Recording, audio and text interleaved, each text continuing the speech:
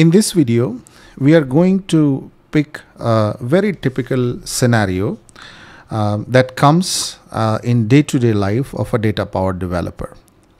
The scenario is that you have some users defined in Active Directory or any LDAP system and uh, their credentials are coming as part of the request.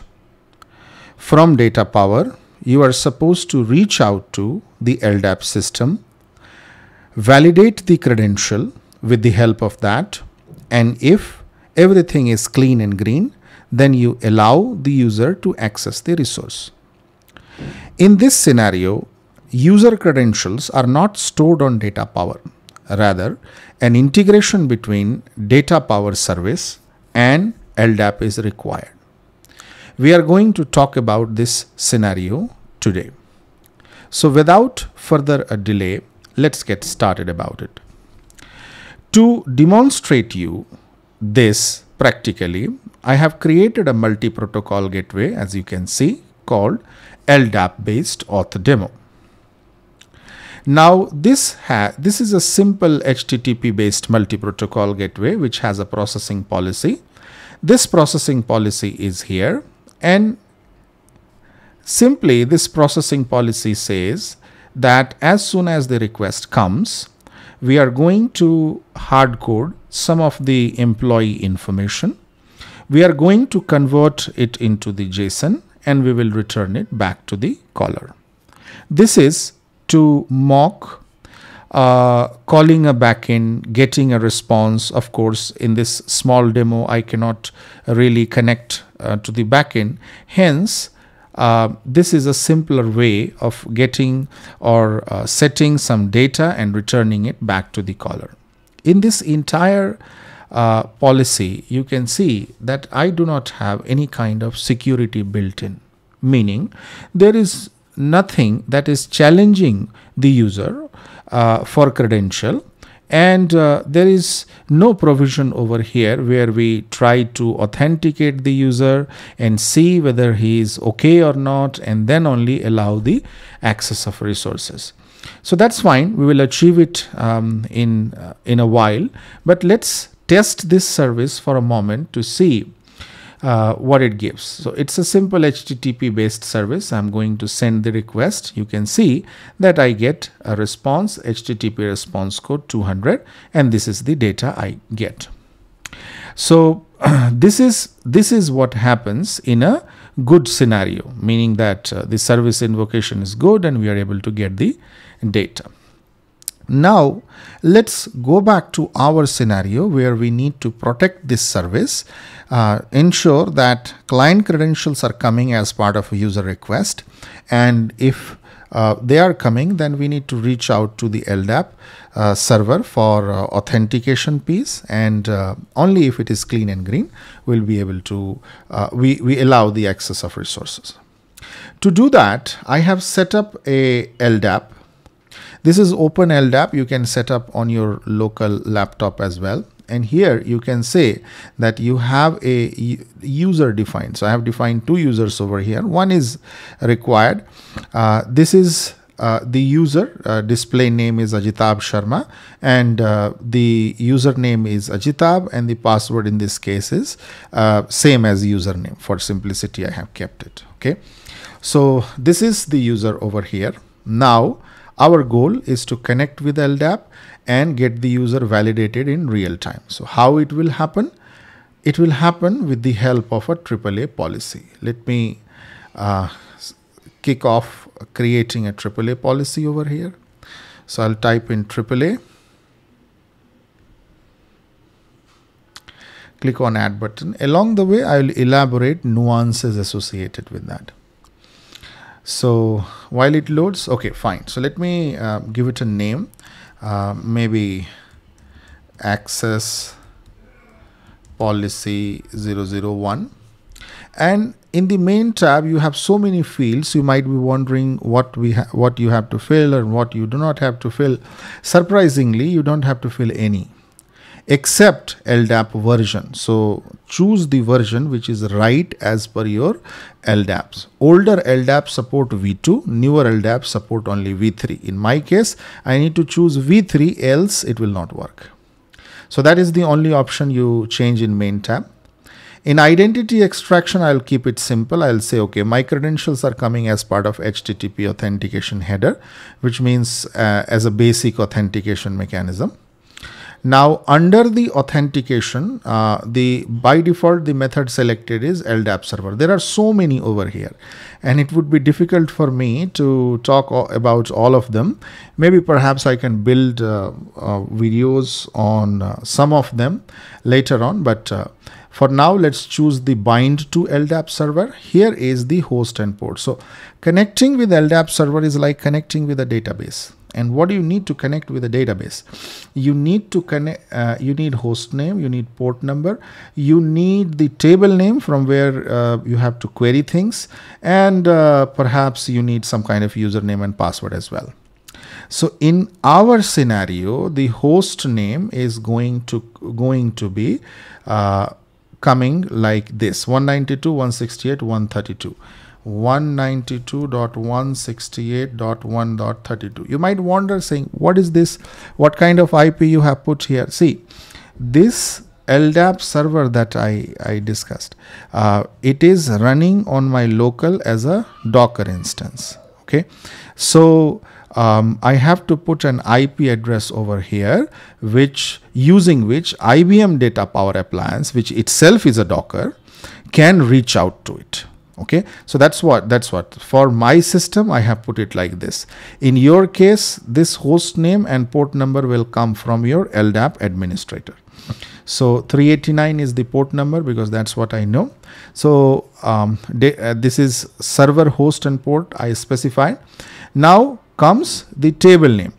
See uh, ldap is a network database okay? And um, I, I told you that we need a table name. Tables are concept in RDBMS. There is no concept of as such table in um, uh, the LDAP. So the the way it works is look at this. Um, I go back to this thing. Now you see UID. This user is inside this. Okay. So if you click on this user, there is a DN, distinguished name displayed here. This distinguished name is the fully qualified name of this user. And this consists of its user ID and uh, it's uh, and other string like ou is equal to users ou is equal to system. So for all practical purposes anything other than uid will act like a table for you. So this string ou users ou system is something that you have to fill in here. This comes under dn suffix. Ou is equal to users ou is equal to system in your case, it might be different. There might be more than one parts of this. So in, in my case, there are only two tokens over here. In your case, there could be four, five, six, depending upon your uh, hierarchy. But I just told you from where to pick this, right? So you select this item and then you have a DN displayed and here o, everything after UID is your string that goes here. It's practically acts like a table. Now in the DN prefix, you have to just remove it and make it UID. Why? Because in our case, I intend to send the user ID to the LDAP. Okay. But just the user ID? No. Bottom C, it says LDAP search attribute user password which means I intend to send the user ID and password, user password to uh, LDAP system and the I'm asking LDAP system to validate this user ID and password combination and that the LDAP should be able to do. Any other uh, combination over here is not useful for you at the moment. Um, items like TLS client profile or proxy profile these are these are useful in the case when you are dealing with LDAP S protocol uh, LDAP secure protocol. But for now I'm not going into that complexity. I'm keeping this thing simple focusing on the LDAP uh, um, LDAP authentication. So I said UID is equal to, from where did I get this idea? See here, it says UID is equal to. So although the default value CN was here, I changed it to UID. Okay. And then user password is over here. Um, we'll, we'll keep it as is. And my authentication piece is okay. In credential mapping, I will say none. For now, no mapping. In resource extraction, I will simply select this. In resource mapping, none. In authorization, I will simply say allow any authenticated client. See here, uh, there could be a scenario where uh, your organization may want to authorize the user uh, if it is part of only a certain group. So that complication could be here, right? In that case, you need to select this uh, check membership in LDAP group and there is a separate configuration for that because this video will get a lot longer. Hence, I'm skipping that piece. Maybe I can make another video on that. But for now, allow any authenticated client means if authentication is successful, consider authorization is successful, there is nothing I need to do in post processing. I just need to click on apply. Once I clicked on apply button, I have a AAA policy ready. This AAA policy will expect a uh, user credential as part of HTTP authorization header. We'll extract from it, we'll pass it on to the LDAP. If LDAP says okay, things would be good. It will allow it, otherwise it will not. But this AAA policy alone will not do good.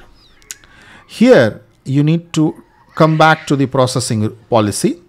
In the request rule, I'm going to drag and drop. So I just dragged and dropped AAA over here. Double click to open it and click on the apply policy. So now my policy is ready. This policy is automatically attached here as part of multi-protocol gateway. I don't have to do anything, but I still want to enable the probe because probes are very good way to check what's happening, especially in case you have AAA uh, part of the policy. So now I come back to my client.